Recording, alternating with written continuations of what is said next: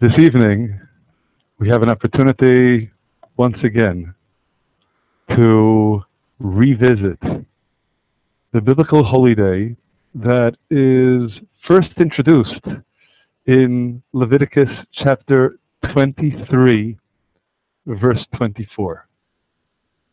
We discussed this holy day. Some of you will remember the very first session of Yeshivath Sharashim just about a year ago. At the time, we focused upon why altogether we call this day Rosh Hashanah, the beginning of the year, considering that in the verse I just cited, again, Leviticus chapter 23, verse 24, it is explicitly described as taking place on the first day of the seventh month. But again, that was a discussion we had last year. We're not going to address it now. The point with which I'd like to begin this evening is in considering the manner in which this extraordinary day is introduced in Scripture. It is described as, again, in the seventh month, on the first day, you shall have a day of ceasing from productive labor, zichron teruah, a remembrance of blasting, which of course, for the purposes of the title of the session, since blasting would sound awfully strange here, we take to refer to the shofar blasts. But this is the word, folks, teruah, blasts, blasting, a remembrance of blasting. And of course, inevitably, we need to understand what is it? What does it mean? And what, in particular, is this remembrance supposed to be about? Or to be more specific, remembering what, when, and for whom? Okay, we've kind of addressed the question of when. What is it? And for whom is it? It's interesting to note that this is not the only context in Scripture in which we find a juxtaposition of blasting the teruah with the subject of remembrance. We find a similar kind of juxtaposition, not exactly the same as we shall see, in Numbers chapter 10. What happens in Numbers chapter 10 is God commands Moses to make two trumpets. It's not a shofar here, it's a trumpet. Rather than an instrument that is fashioned from something in the natural world, like a ram's horn, this is something fashioned artificially from metal. But for our purposes, what is relevant is what we read with respect to the use of these trumpets in Numbers chapter 10, verse 9. When you come to war in your land against the adversary who is causing you anguish, then the Torah tells us in the Hebrew, Va'hareotem b'chatzotzerot. Va'hareotem is the verb form that is associated with the same root as teruah. So I guess the best way to translate this would be, you shall blast with trumpets. And the consequence of that, here we get to the remembrance, is, and you will be remembered before God your Lord and be saved from your enemies. So again, we have the blasting, and we have the remembrance. It's interesting to note that the blasting in Leviticus isn't explicitly associated with any instrument. We, of course, have a tradition that the instrument of choice is the shofar. In Numbers chapter 10, the instrument is explicitly designated, and it's not a shofar, but this act of producing the teruah, the blasting sound, is here again associated with remembrance. So evidently this blasting is something significant. But again we'll ask, what's the significance? What does it do? What is it for? Who is it for? That this blasting, the teruah, is something significant, I should note, emerges in a different context from a strange statement that we read in Psalms. In Psalms chapter 89, verse 16, the text, again in the Hebrew, Hebrew would be a tremendous asset for our discussion this evening. Ashrei ha'am yodei teruah. Fortunate is the people who know the teruah. Again, this is the teruah, the blasting sound. God, by the light of your countenance, they go. Well, clearly, knowing the teruah has something to do with going by the light of God's countenance. But besides that, strange statement, isn't it? What's so important about knowing the teruah? After all, if it's simply a matter of being able to produce the sounds, doesn't sound like something so very important. Uh, mind you, it's not so easy to produce it through a teruah sound. I must admit personally, I can't do it. But be that as it may, the sound itself doesn't seem to be something so significant. Yet again, in Psalms, it is the sound that the people are summoned to know. And again, in both Leviticus and Numbers, the sound of the Teruah is associated with remembrance.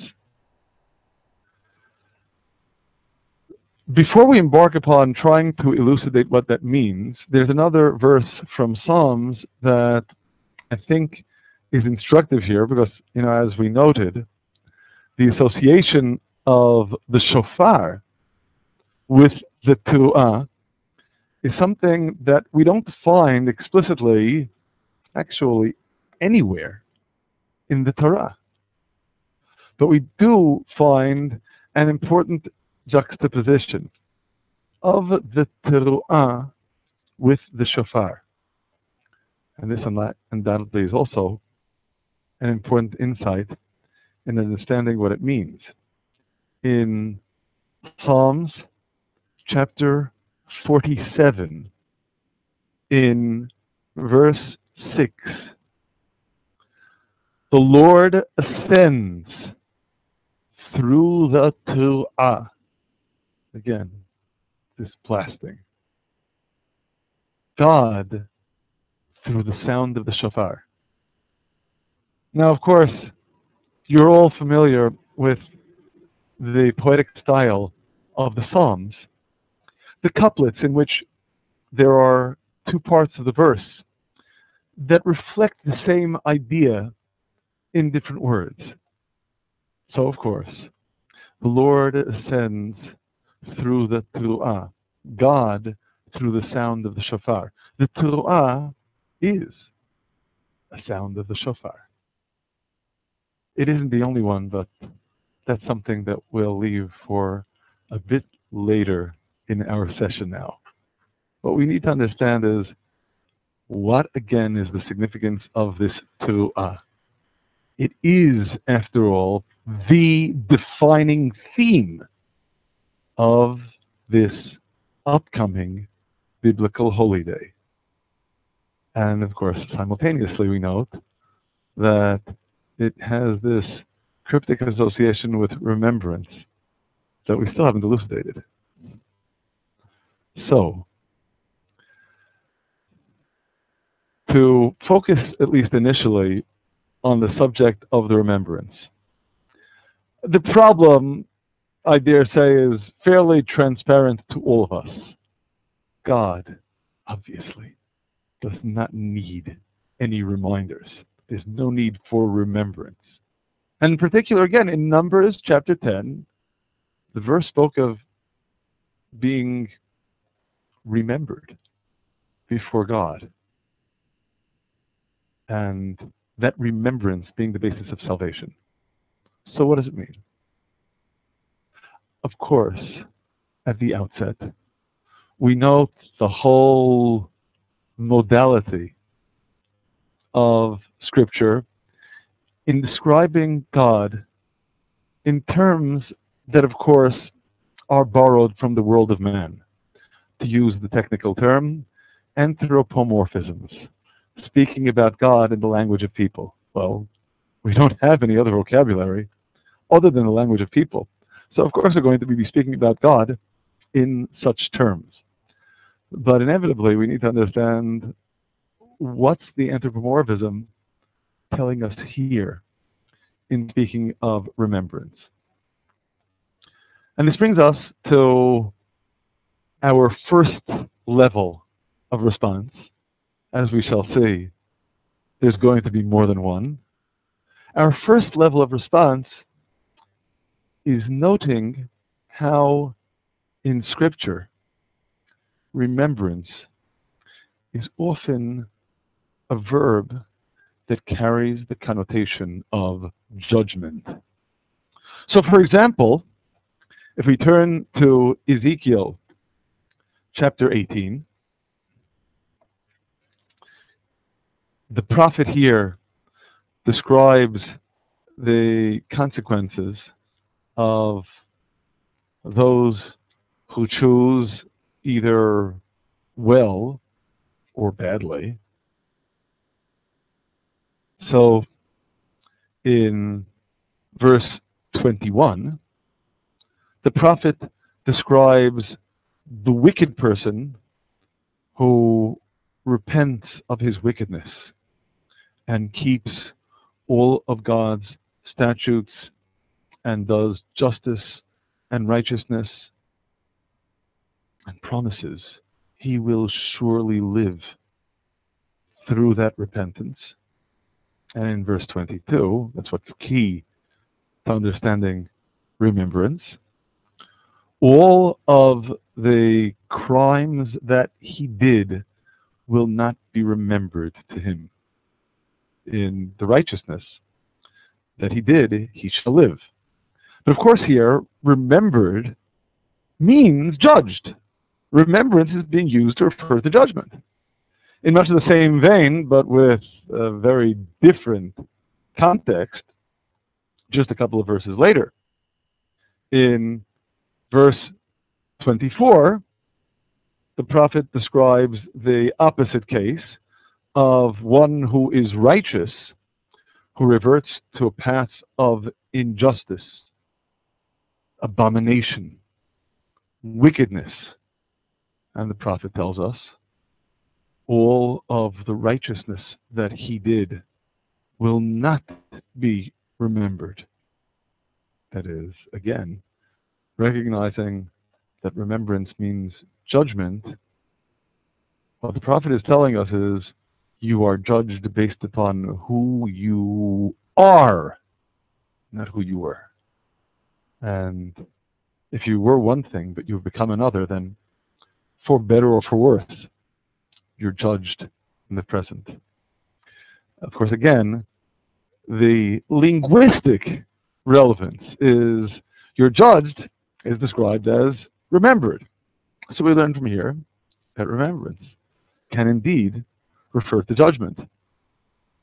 To just consider another couple of examples, there are very many in Scripture, and I certainly don't intend to belabor the point, but if you look likewise in Psalms chapter 25, verse 7, the prayer of the psalmist, of David, is the sins of my youth and my crimes don't remember.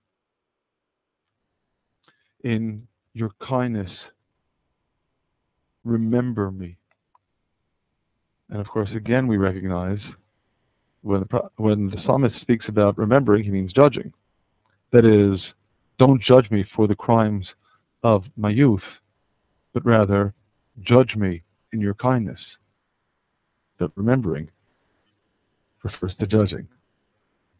And the final example, this is a recurrent theme in the words of Nehemiah, beginning in Nehemiah chapter 5, in verse 19. Remember for me, God, for the good, all that I did for this people. And of course, again, remember me for the good. Judge me positively. Again, a recurrent theme in particular in chapter 13. But in all these instances, again, remembering means judging. Why am I belaboring this point? Well, I couldn't help it, but what, of course, is significant in this application of the meaning of remembering is remember this upcoming holy day is a remembrance, a remembrance of the blasting of the shofar. A remembrance means, just by simple translation, based on what we've seen, a day of judgment. And of course, by ancient tradition, that is precisely what this day is. It is the universal day of judgment, the day of judgment for all flesh, for all of humanity, for everyone. As we noted last year as well, while typically this holy day, which Jews call Rosh Hashanah, is described as a Jewish holy day, it is in fact, of course, a biblical holy day. And while the biblical holy days are especially relevant to the nation of Israel, for the most part, they pertain to specific historical events with which they are associated that took place for Israel. This one is different. This one has a theme that is explicitly universal because the judgment is indeed universal. That's the remembrance. So again, it is using human terms, speaking of remembrance. But we appreciate the theme of judgment. This, I reiterate, is our first level of understanding of what the remembrance means. First, but not last. Because inevitably, of course, we still need to consider what this remembrance means for us. Recall in Numbers chapter 10, the remembrance was a consequence of your doing something, blowing the trumpets. In Leviticus chapter 23, that isn't explicit, but it certainly is implied. Because again, Moses is told to speak to Israel in telling them about this holy day, this holy convocation that is a remembrance of the blasts of the shofar. Well, if we're supposed to know about that, presumably we're supposed to be doing something active. Merely being judged is not doing something active. So what's our role in this remembrance? In order to appreciate the answer to this critical question, we need to dig more deeply into just what teruah means. And here again, I have to note that it would be much easier for us to conduct this session in Hebrew, because then the meaning of the words becomes far more transparent. But we'll do the best we can by way of translation. Question that we need to ask ourselves is what indeed is the root of teruah? And what levels of meaning can we discern in this word by analyzing whence it comes, what its etymology is. And indeed, it's interesting to note what the root of teruah is. Teruah comes from a root that means shattering, breaking. Acoustically, the teruah sound is a broken sound. But when we consider how this root appears elsewhere in Scripture, we certainly get a very keen sense of what it implies. Well, again, I'm not going to over belabor the point. I'd just like to share with you a couple of examples to make the meaning of the root clear. If we turn to Isaiah chapter 24, verse 19.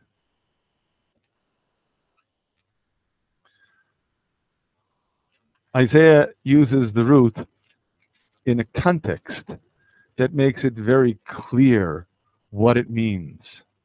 Hit ro'a haaretz. Translation The earth is utterly shattered. Ro'a hit ro'a comes from the same root as teruah, this word over here. And the continuation Indeed, in a similar vein, Por hitporera eretz, the earth is utterly crumbled. Mot hitmotata aretz, the earth is utterly collapsed. The shattering is the reflection of the same root of teruah. And likewise, similarly in Psalm chapter 2, verse 9, Tiro'em b'shevet barzel, you shatter them, referring to nations that rebel against God, with an iron rod. And again, the shattering comes from the same root as teruah, breaking. Again, shattering, brokenness. To consider more directly how this relates to the Teruah, we'll note first that in the book of Joshua, remember the battle of Jericho? The walls come tumbling down. When do the walls come tumbling down? In Joshua chapter 6, verse 20. We read that Vayara Ha'am which is the same verb, the people are making this blasting sound. And when the sound of the shofar is heard, the people blast this great blasting sound, shattering. And you know what happens? Everything shatters the wall fell down where it was. The wall shattered. The teruah, the shattering sound, elicited indeed the shattering.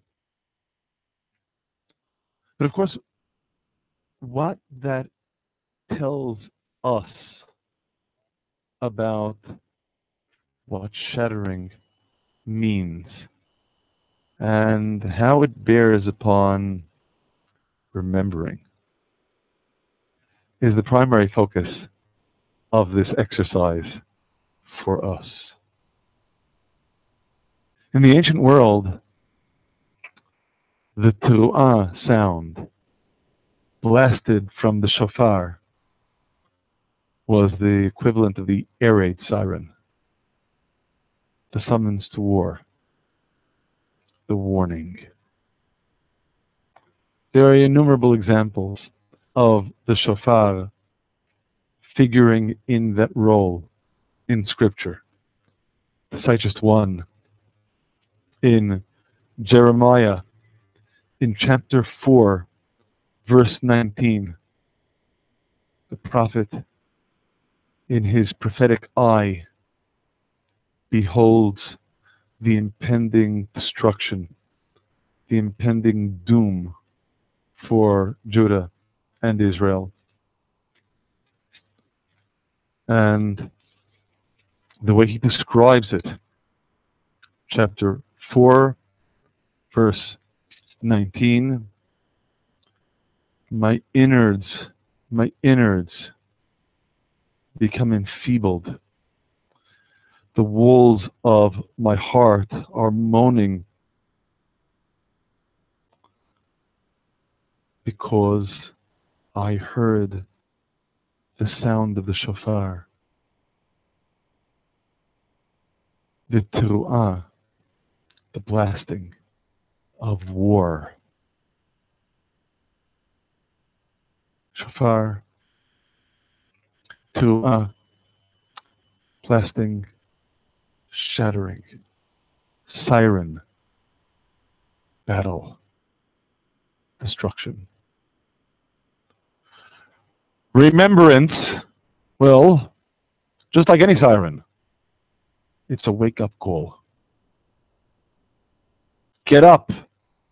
Look around you. See what's going on. Remember. Remember because all so often we forget. We become inattentive. We stop paying attention. And the shofar is there to wake us up. As the prophet Amos asks rhetorically in chapter 3, verse 6 of Amos Can a shofar be blown in a city and people not tremble? Because, of course, they'll tremble. It's a wake up call, and everyone wakes up. So, getting back to that theme of remembrance,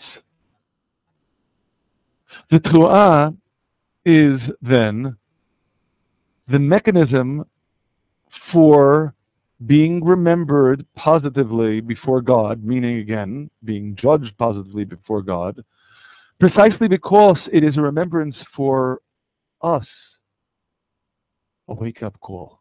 And as we saw, of course, in Ezekiel chapter 18, you're judged based upon who you are, not who you were. So if you wake up and make yourself into one who is worthy of being positively remembered, then you will be remembered for the good. Then you have the promise that God judges favorably.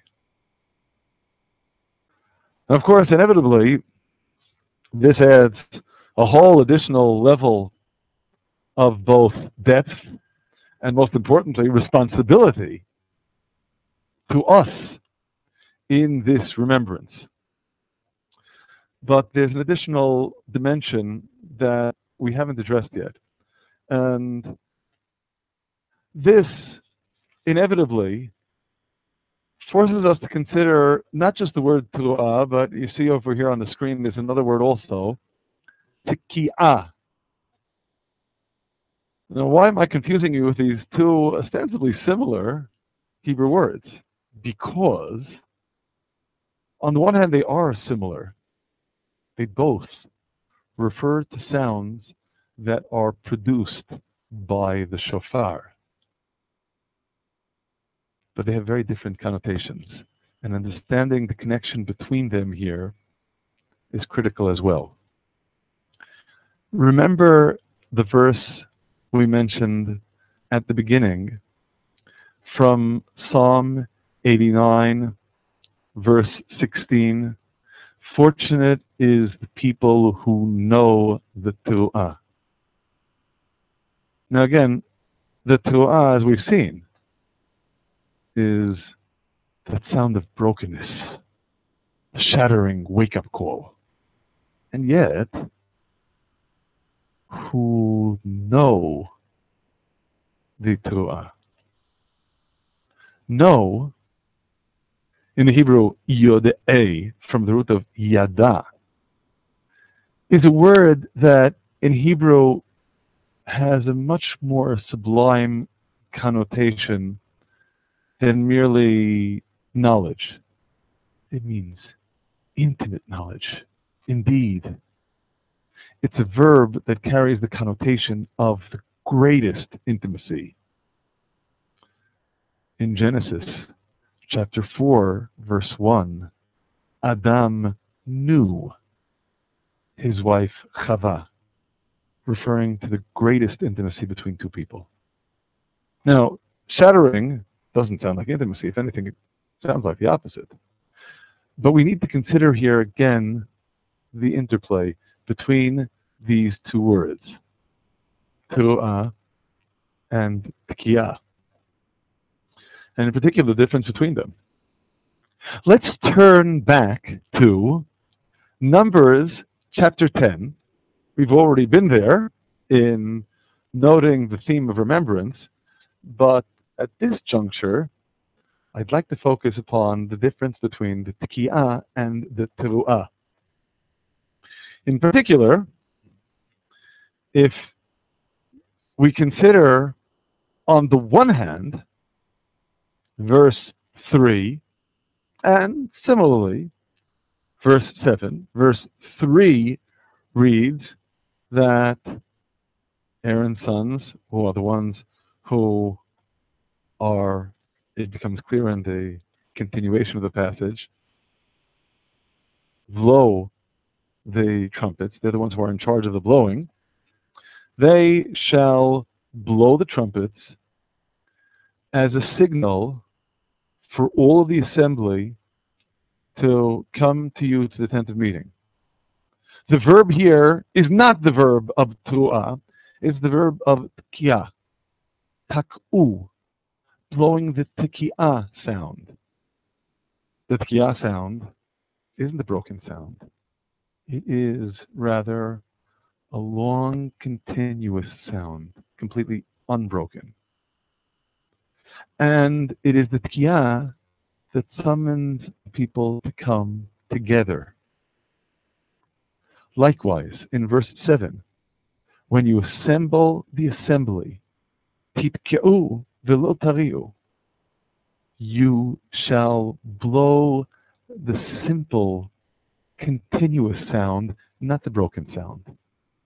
This, of course, in marked contrast to what we read in verses 4 and 5.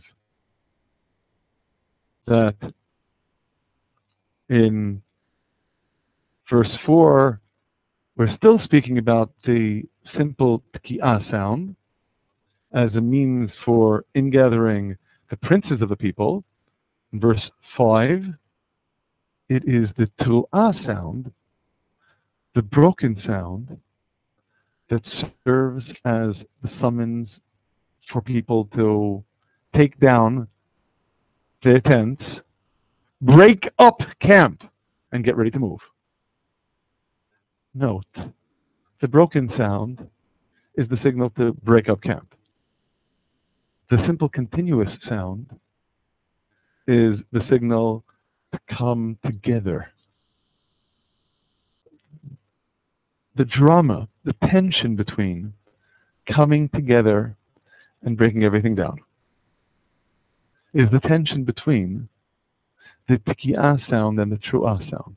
Now, I realize this sounds very subtle acoustically, but it's important to note that this is the meaning of the verb associated with tki'ah, litkoa,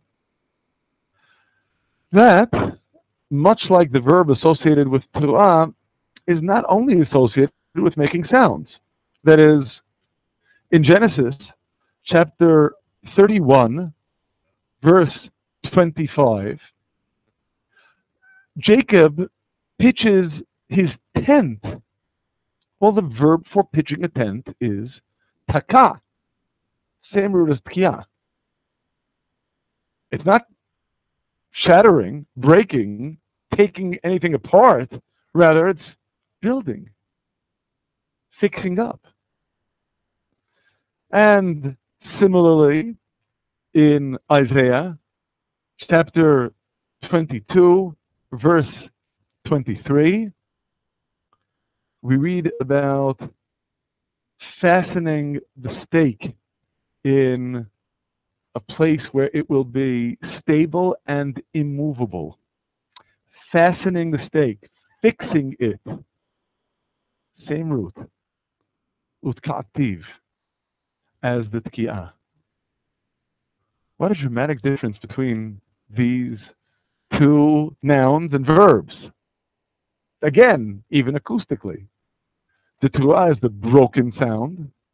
The tki'ah is the continuous and unbroken sound. The verb associated with teruah means shattering, breaking.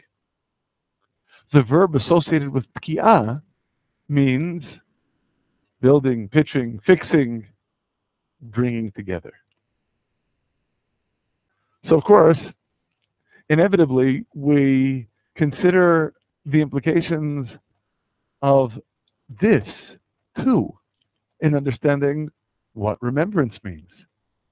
Because, after all, the remembrance is for the good. There's the shattering and the breaking. But it means, after all, to coming together, to returning to God. There is that broken sound of the Teruah, but again in Psalm 89, fortunate is the people who know the Teruah, knowing with that connotation of intimacy, of closeness, that paradoxically derives specifically from the Teruah. So, uh, isn't this an inconsistency, if not an outright contradiction? How can we speak, on the one hand, of all of this coming together and closeness and intimacy and fixing, and on the other hand, speak about judgment, shattering, brokenness? Really, isn't it a contradiction? Of course, the answer is no. On the contrary, it all really does come together. And to appreciate why, I think it's instructive for us to consider the message at the end of Psalm 96. Now, mind you, the verses at the end of Psalm 96 have nothing to do with blowing a shofar or producing either the sound of the teruah or the sound of the tkiah. Yeah, but it's all about a context that's very near at hand when we consider the message of this day of remembrance, of judgment. In Psalm 96, in verse 11, we read, The heavens are happy, the earth rejoices, the sea and all that is in it thunder, the fields exult with all that is in them. Then the trees of the forest are filled with glee. Wow! What exultation. What rejoicing. What happiness. What are they so excited about? And the following verse, in verse 13. Before God, for he is come. He is come to judge the earth. He judges the world in righteousness and peoples in his faithfulness. This is the reason for the rejoicing? Because the day of God's judgment is close at hand? What's to celebrate? Ah, what's to celebrate? Remember the expression at the beginning of the verse? Before God, for he is come. For he is come. Note the doubling, the point of emphasis. The rejoicing is because of precisely this intimacy. He is come. So, of course, we recognize that the inevitable consequence associated with his coming is judgment. But he's coming. And that's what matters the most. After all, as we've noted on a number of occasions in the past, what matters, what really matters, has a lot to do with your perspective. The final verse of Psalm 73, the Song of Asaph, the last verse. And as for me, closeness to God is the good. That's the definition, folks. If closeness to God is the good, then when God is coming, I celebrate. That He's coming to judge is a reality, but it's not going to change the celebration. The celebration is still precisely because God indeed is coming. And when one considers what the message of that coming then is, we start to appreciate how it really is all about remembrance. Remembrance. Remembering. Getting a perspective. Looking back and looking forward as the basis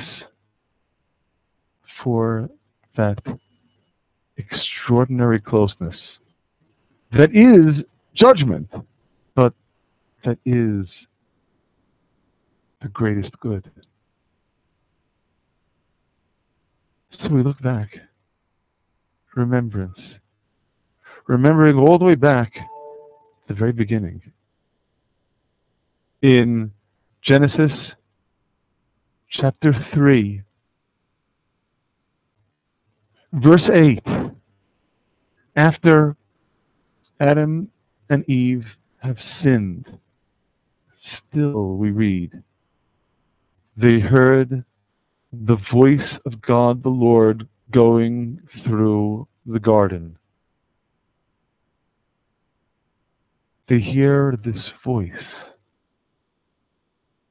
it's God, and it is a summons. And in the next verse, God the Lord calls to Adam, Where are you? And of course, as we've noted, it's not a question, it's a rebuke. Look what has become of you. Where were you before? And where are you now? They sinned. But they still heard the call. They still were that close. And we remember. We remember that extraordinary closeness to God with which humanity embarked upon its historic journey. That closeness, that starting point and the assessment year by year. Where have we gone in the interim? And we hear the sound of remembrance, which is, after all, what the shofar is. That sound of remembrance, and we remember.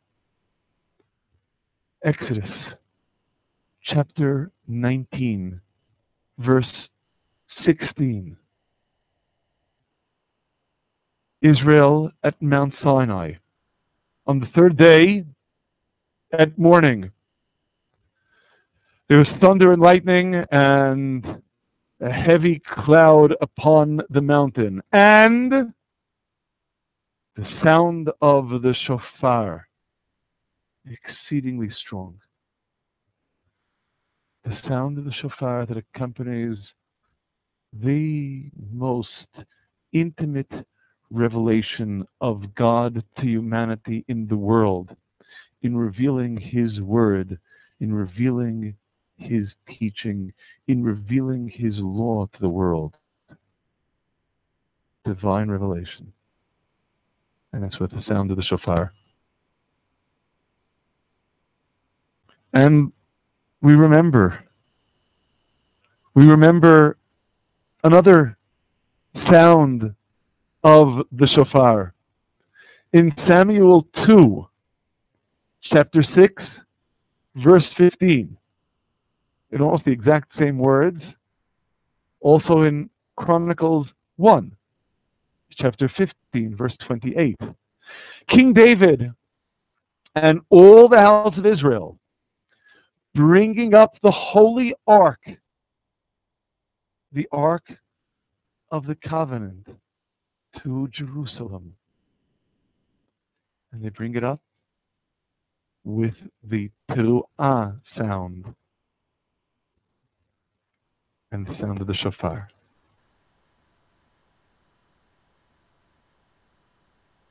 To establish that extraordinary basis of divine revelation in the midst of the nation on an ongoing basis in the Holy Temple. Not yet built, but there's already the sound of the shofar heralding that closeness, that intimacy. And we remember. And we remember,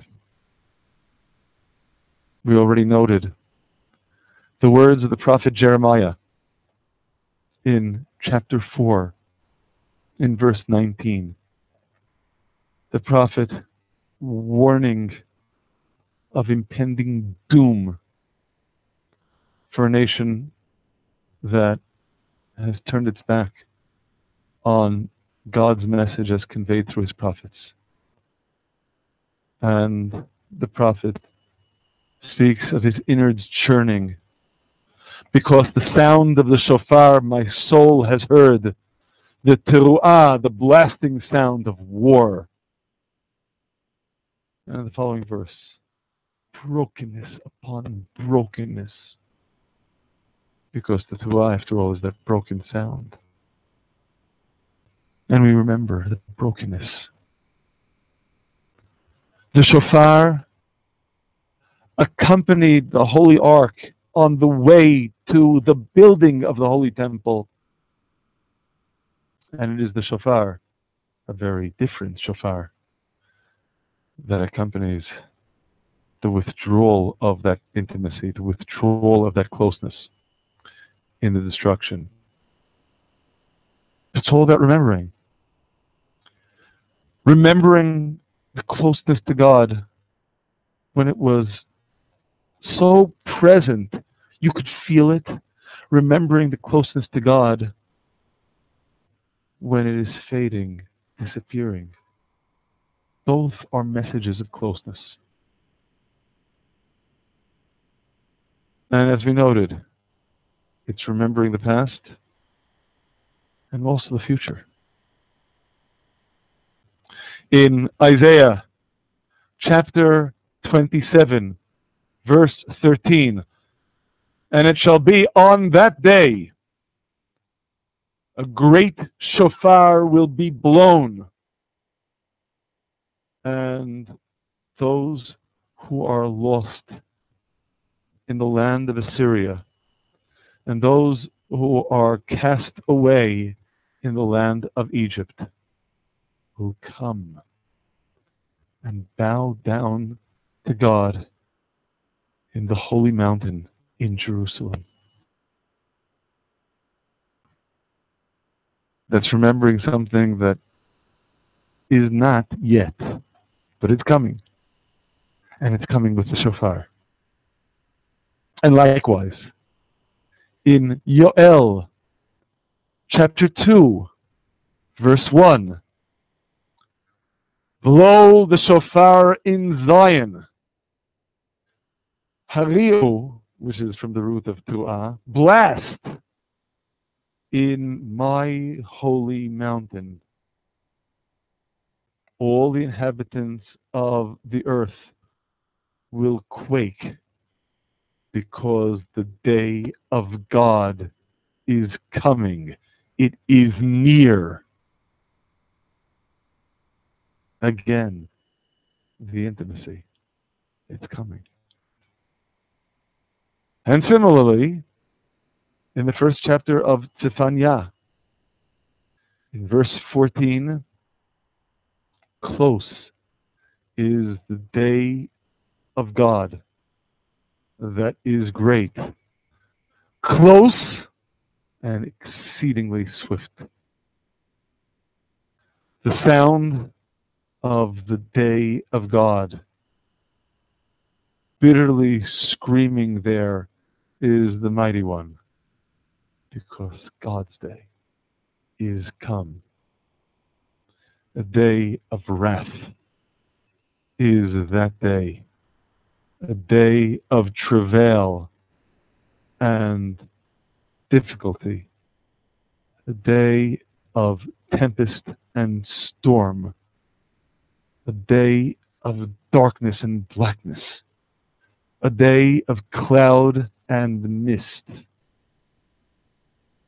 In verse 16, a day of the shofar and of teruah.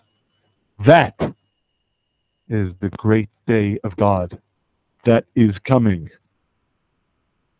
And likewise, in Zechariah in chapter 9, God will be revealed upon them, and his arrow will go forth like lightning, and God the Lord will blow the shofar. Again, the sound of the shofar. And finally, in this progression, Isaiah, again, chapter 18, in verse 3 all the inhabitants of the earth, all who dwell on earth, will hear when the shofar is blown because it's a summons. It's a wake up call. It's the ultimate remembrance. It is at its most deep a call to come back home, to return to God. It is a sound that really is the high note of a vast crescendo. Just consider how the book of Psalms concludes. There's a progression, but the progression in the last chapter of Psalms goes beyond words. Praise God in Psalm 150, verse 3 with the blowing of the shofar. And there's a long list of additional instruments, and in verse 5, praise him in the timbrels of the teruah. That inarticulate sound that goes beyond language. And finally, the next wor- verse, which is the last verse in Psalms. Let every breath praise God. Hallelujah. Every breath. Beyond words, beyond expression. A closeness that goes beyond what you can describe. So all we have left is the shofar, the remembrance. The remembrance the closeness, closeness past, closeness future, closeness then, that is a summons in the present.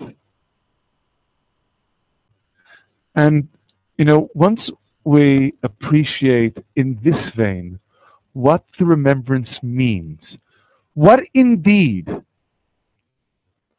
this remembrance of shofar blasts is for, what the significance of this holy day is, we got to think a much better sense of how profoundly optimistic and upbeat is the Bible's message in speaking of remembrance. Because recall in Numbers chapter 10, it is this remembrance, being remembered as it were before God, that is the basis of your salvation. You will be saved from your enemies, enemies of all sorts. Once you get your bearings, once you remember where you came from, where you're heading, who you are, once you wake up, that remembrance is indeed the greatest blessing. And it's especially instructive to compare this. I think we made this point last year as well, but I feel it bears repeating.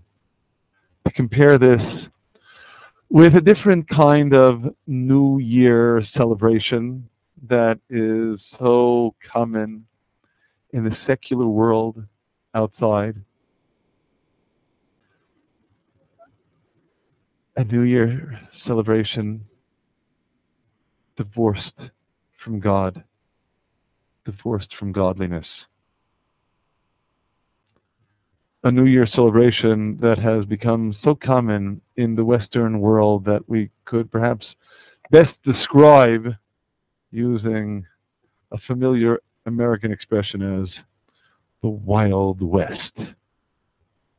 And you all know very well what kind of demented wildness I mean here.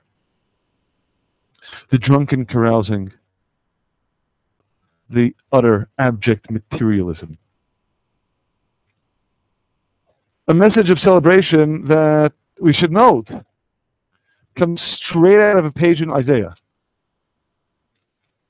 Because when Isaiah describes the behavior of the godless in Isaiah chapter 22, verse 13. Behold, rejoicing and happiness. Kill the cattle, slaughter the sheep. Make a big party. Eating meat and drinking wine. Eat and drink, for tomorrow we die. The slogan of the secular, godless New Year eat, drink, and be merry. Tomorrow we die. And to superficial flesh and blood eyes, looks like a lot of fun.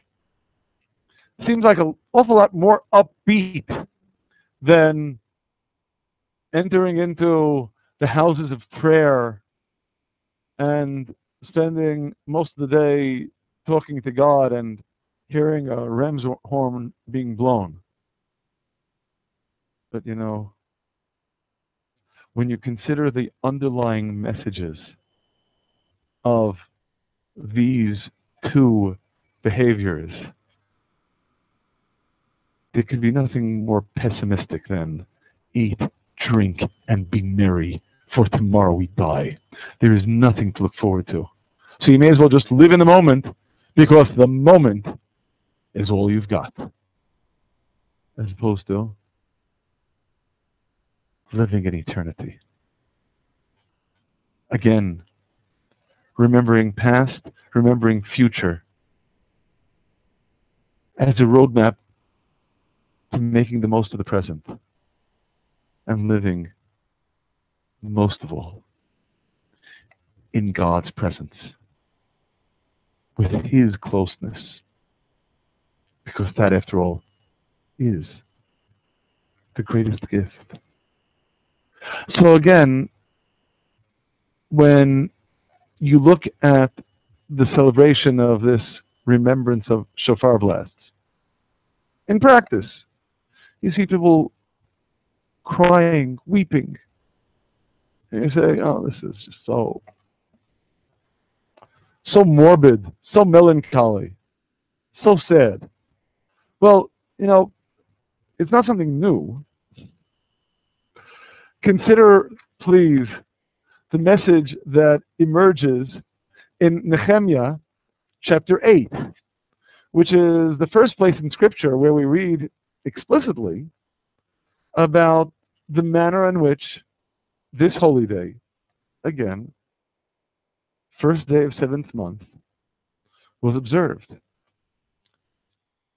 Because in Nehemiah chapter 8, first, we're told explicitly in verse 2 that Ezra, the high priest, brings the Torah before all the assembly, men and women, all who understand to hear on the first day of the seventh month.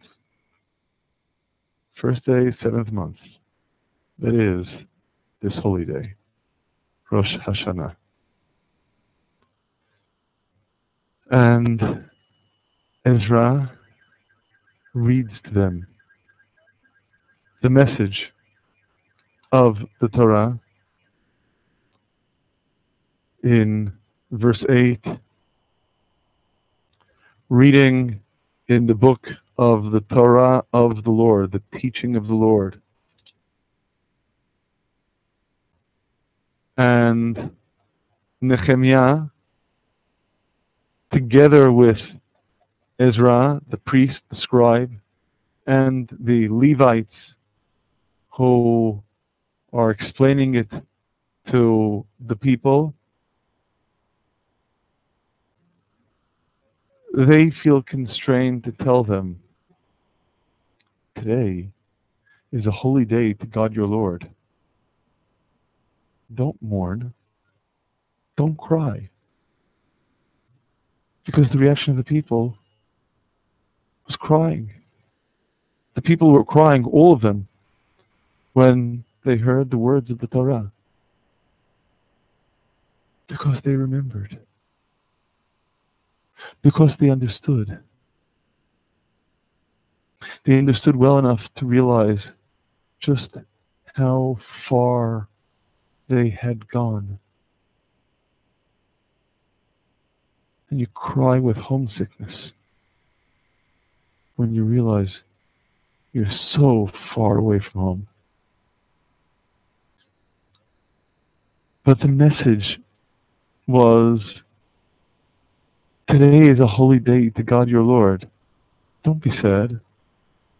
And in verse 10, go and have a sumptuous banquet, make a celebration. Because today is holy to our Lord. And don't be sad. Because exulting in God is your fortress. That's your might. It's a day of remembrance. And when you remember, you really can be moved to tears. But those tears really should summon a greater happiness. It's not tears of empty sorrow for something lost. It's crying over something that's missing. And if I focus, I can bring it back. And so, indeed, in verse 11, the Levites calm down the people. Don't be sad.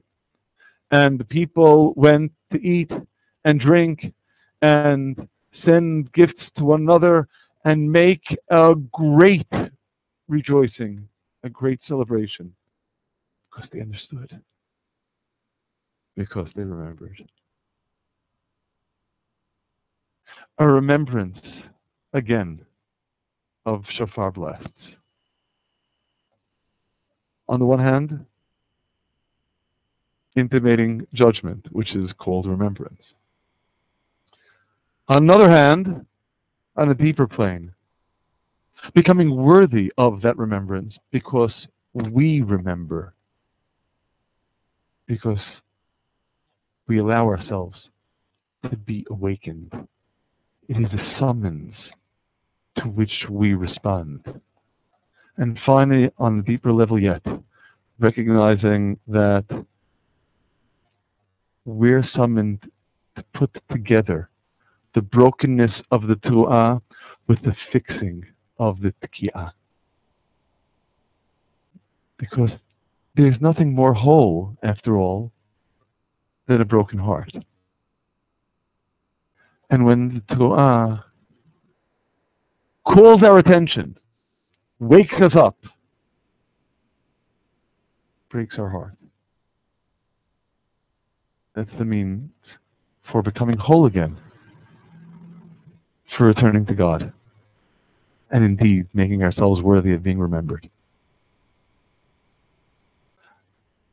It would be wholly inappropriate for me to end without mentioning one additional dimension of which I'm sure all of you are aware.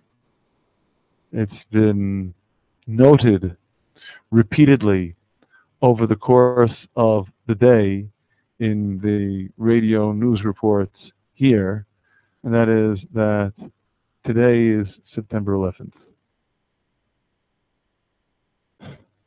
Talk about wake up call. Talk about a summons to remember. So, indeed, we have that summons to remember. We have that wake up call. Eleven years ago, the events of September 11th took place as the commemoration this year, less than a week before Rosh Hashanah, before the day of remembrance, which is the day of judgment. We don't have any explanations, nor will we. Not in this world. Anyone who purports to have explanations for such horrific calamities is trivializing God and trivializing God's governance of the world. There are no trivial, facile answers to questions like this. But this much we know for us who survive, who remain. This too is a summons. The shofar is waking us up. This is waking us up. We need to wake up. We need to remember. And by our waking up, and by our remembering, we too become worthy of being remembered for the good. God bless you all. And a happy, uplifting, and most of all, close new year. To us all, a year of closeness, a year of return, a year of homecoming again. God bless you.